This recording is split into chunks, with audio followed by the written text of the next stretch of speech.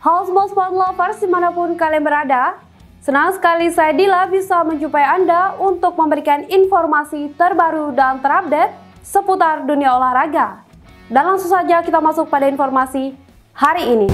Villarreal datang ke Allianz Arena pada Rabu 13 April 2022 dini hari waktu Indonesia Barat dengan bermodal kemenangan 1-0 di leg pertama. Bayern yang dikenal mengerikan di kandang sudah diduga akan gencar menyerang.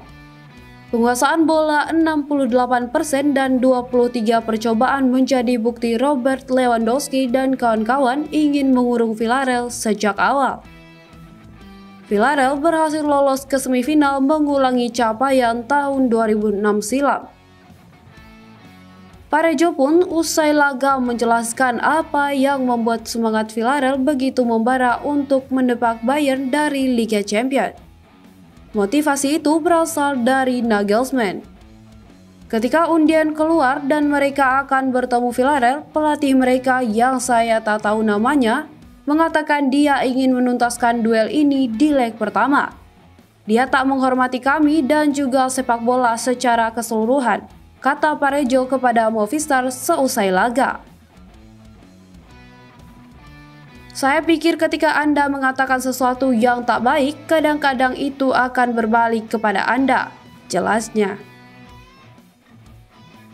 Nagelsmann juga mengatakan Villarreal seharusnya bisa menang lebih banyak di leg pertama. Omongan itu juga menambah semangat tim tamu. Selanjutnya, Villarreal akan menghadapi pemenang Liverpool versus Benfica di semifinal.